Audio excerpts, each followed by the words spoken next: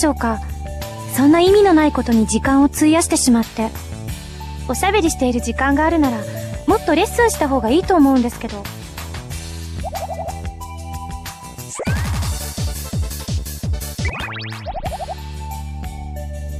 すみません。早く一流の歌い手にって思うとじっとしていられなくて。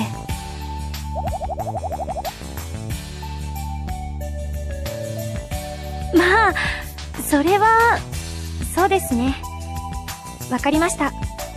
それでは質問などあれば遠慮せずにどうぞ。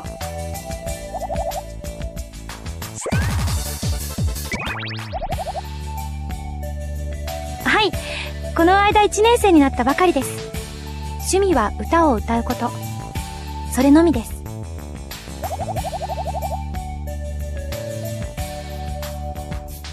これまで私の歌を聴いた人は皆褒めてくれました。でも私はもっとレベルの高い歌が歌いたいんです。聞いた誰もが言葉を失うような歌を。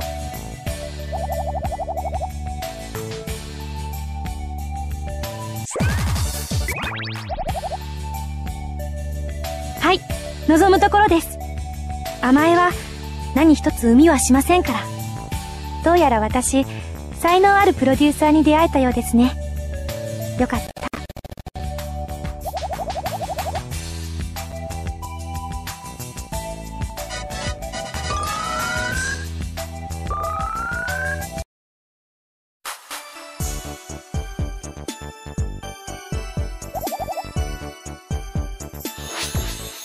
初日から遅くまでご苦労だったな。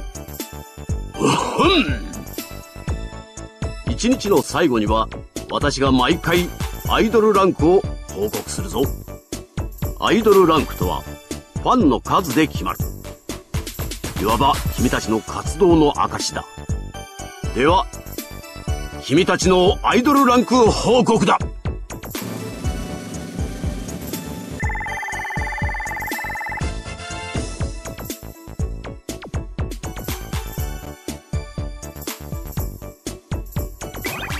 テレビに出るまでは素人とは何ら違わない。活動3週目にテレビ出演を果たしたまえ。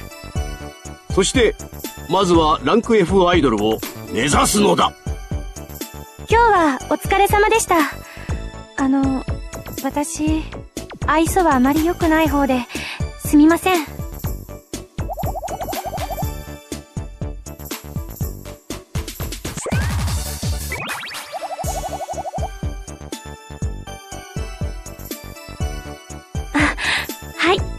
少しは改善していければと思います。それではまた次に。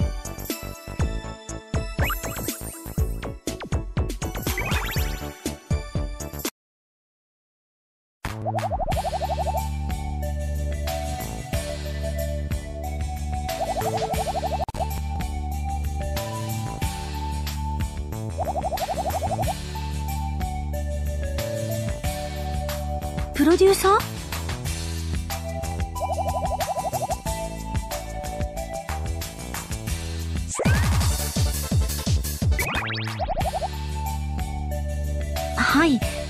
勉強用の楽譜を事務所のどこかにうっかり置き忘れてしまったみたいで。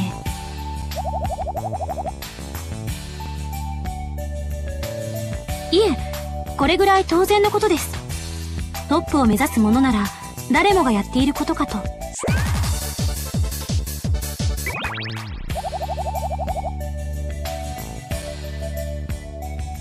はい。努力せずに極められるほど歌の世界は甘くはありませんから。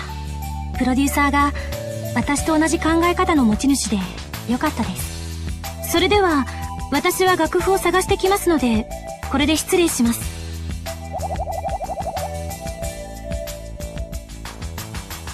え？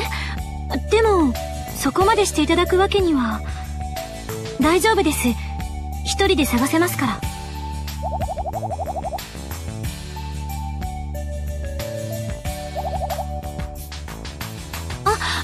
ロデューサー？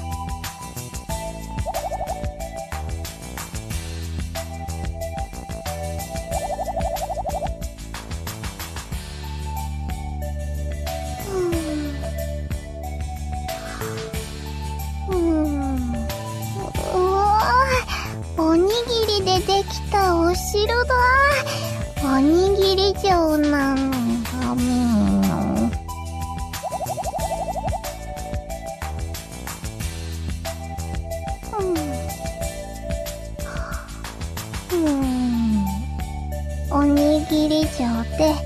ミキ姫は、王子様と幸せに暮らしましたとさ。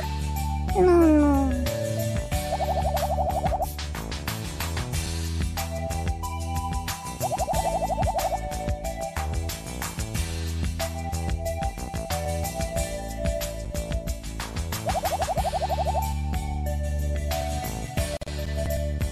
パフ。う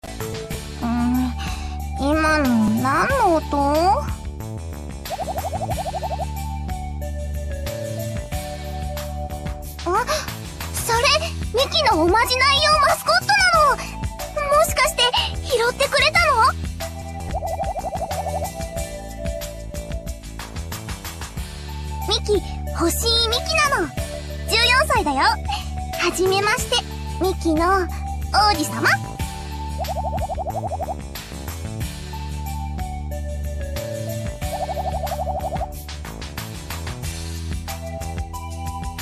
あのね、ミキ、彼氏欲しいなって思って雑誌に載ってたおまじないしてたの。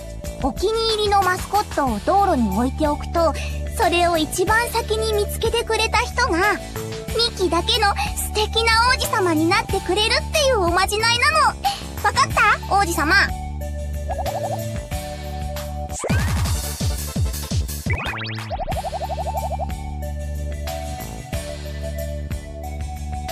っぱりやっと巡り会えたねミキだけのおにぎり王子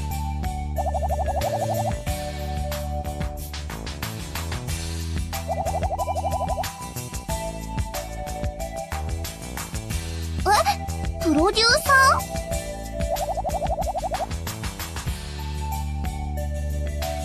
ーあ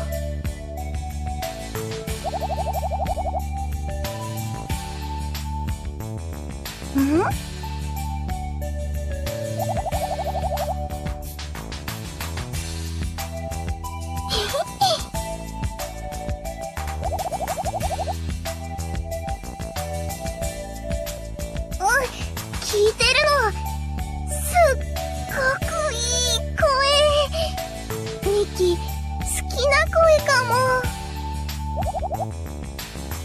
どうしよう。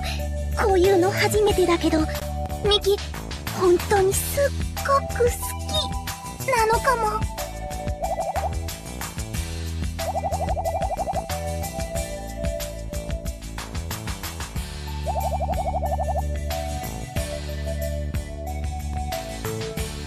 うん、まあ、そんなとこ。社長が色々うるさくて、まだデビューさせてもらえないんだけど、おかげで毎日暇だよ。今日もすることないから事務所で昼寝してたの。でも、もう夜だし、昼寝も飽きたから帰って寝ようかな。う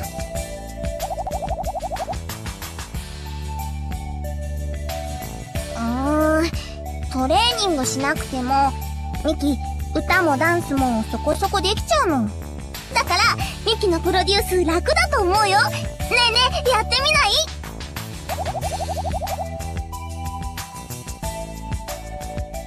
残念なの。ミキ、大好きな人のためになら、すっごく頑張れるタイプなのに。今度、社長に頼んでみちゃおっと。プロデューサーもミキの担当に変わったら嬉しいよね。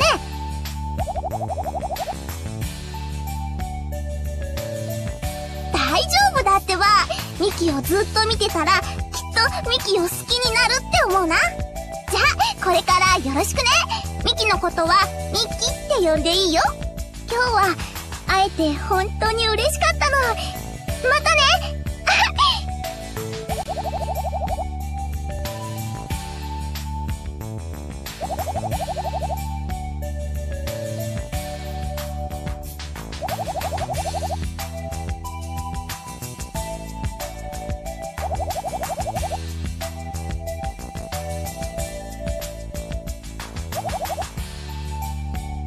すみません。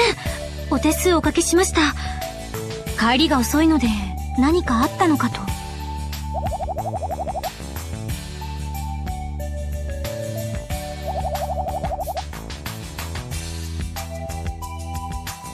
変わっていて才能を感じるもしかして星井美希ですか？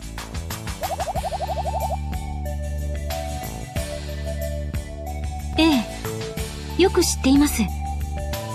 ミキはまだ正式なアイドル候補生ではありませんが私の目から見ても才能は群を抜いています。少し世間知らずなところはありますが時々ハッとするほど人を引きつける歌を歌います。天才型の歌い手ですね。はい。才能のある人たちと競えるのは素晴らしいことだと思います。そうやって互いに歌の力を磨き合うことでより高みに近づくことができますから。同じ事務所の仲間でもひとたびステージに立てばライバルです。ミキともいつか存分に戦える日が来ることを願っています。少し怖くもありますけど。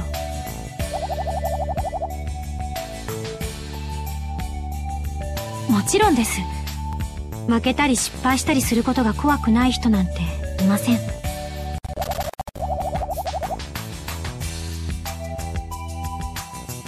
そうですが他にもどんな強敵が現れるか分かりません。楽しみでそして怖いです。暗闇をたった一人で歩き出したような心細い気分です。不安を消すためには努力しないと。もっともっと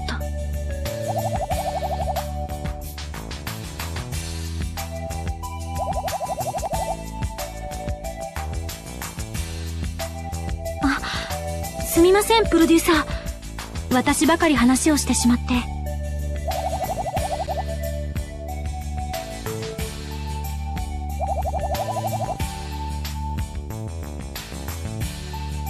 努力で裏打ちされた自信。はい。よろしくご指導お願いします。では今日はここで失礼します。お疲れ様でした。